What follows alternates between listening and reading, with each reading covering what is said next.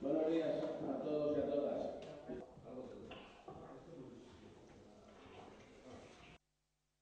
Buenos días a todas y a todos. Celebro la mejoría en la evolución de los datos sanitarios que estamos logrando promover los sistemas de salud en todas las comunidades. Sabes, presidente, que no comparto el modo de gestionar el estado de alarma y el mando único. Ayer, una vez más, antes de hoy, anunciaste en público, y me voy a referir a cuestiones eh, que quizás eh, ya has comentado, como la que es la del anuncio en público de un fondo de 16.000 millones para las autonomías, sin que las autonomías hasta ayer tuviéramos el más mínimo conocimiento y eh, hoy has avanzado algo más en su concreción.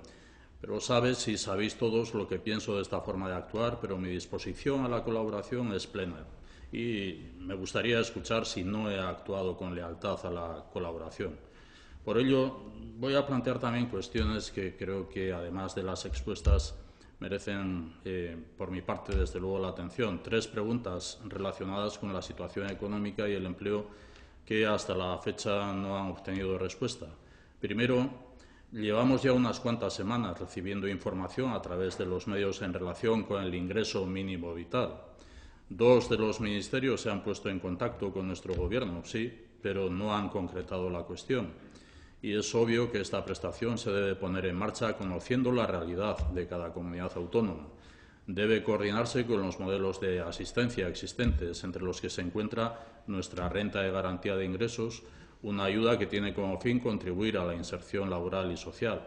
Por lo tanto, presidente, Pregunto cuándo vamos a poder disponer de un primer borrador para hacer llegar nuestras aportaciones en la colaboración que planteas o que solicitas, además de las consideraciones que ya habíamos enviado. Y lo pregunto porque se ha adelantado el objetivo de ofrecer esta prestación en mayo y nos encontramos ya en mayo. Podría ahondar en cuestiones que me preocupan de temas que se han abordado estos días, como por ejemplo las residencias, competencia de las diputaciones forales de los territorios históricos en Euskadi, también otras ya apuntadas en reuniones anteriores. Pero planteo una segunda cuestión, una segunda pregunta.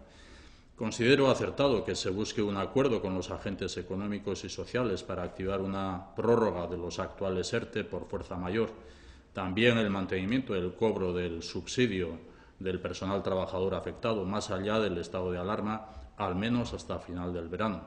De igual forma y de conformidad con las negativas expectativas económicas y de empleo, especialmente en la industria, sería conveniente una transición ágil y flexible a nuevos ERTE por causas económicas y organizativas. Numerosas empresas, numerosos negocios y comercios van a tener que iniciar su actividad de forma paulatina atendiendo a lo establecido en el plan de transición y es conveniente poder conjugar la actividad parcial con el mantenimiento del ERTE es una herramienta fundamental para garantizar el mantenimiento de los actuales eh, empleos y me pregunto si va a ser posible. La tercera pregunta tiene también eh, otro ámbito como marco que es el europeo, Europa. El escenario de los meses que nos quedan en 2020 y el año próximo, el 2021, va a ser muy intenso en términos globales de crisis, con todo tipo de afecciones industriales, financieras, sociales. Las transformaciones necesarias van a situar a la Unión Europea ante su propio desafío en este siglo y va a necesitar el concurso responsable de todos cuantos creemos en el proyecto europeo, porque sin Europa no somos nada. En este punto, la Unión Europea ha aprobado el nuevo instrumento financiero SURE, está dotado con 100.000 millones de euros y se espera que pueda estar operativo el 1 de junio. SURE financiará a los Estados miembros el desarrollo de planes y medidas que permitan a las empresas en dificultades reducir temporalmente las horas trabajadas por sus personas empleadas, a la vez que reciben una compensación por la pérdida de ingresos. Y pregunto si tiene pensado el Gobierno español solicitar financiación al programa SURE y, si fuera así, si se está diseñando algún plan para ayudar a las empresas que quieran mantener el empleo, pero que necesiten reducir temporalmente las horas trabajadas y, en este caso, cómo se plantea la asignación de los recursos entre las diferentes comunidades autónomas. El empleo, como la salud, es un objetivo prioritario y compartido y va a ser necesaria la colaboración para las que sigo mostrando mi disposición. Disposición porque es necesario generar confianza, la confianza de la sociedad y la confianza de los países de la Unión Europea Confianza porque me temo que la situación de los mercados financieros es muy delicada y existe riesgo real de una crisis de deuda y de liquidez. Presidente y presidentes, es conocido lo que esta semana que concluye he dicho públicamente. He pedido reiteradamente respeto al marco competencial del autogobierno. Incluso, presidente, tú mismo has hablado de Estado compuesto. Aquí también otros presidentes han hablado de corresponsabilidad. Yo entiendo la coordinación interinstitucional de otra manera, diferente a como se ha venido practicando hasta esta semana.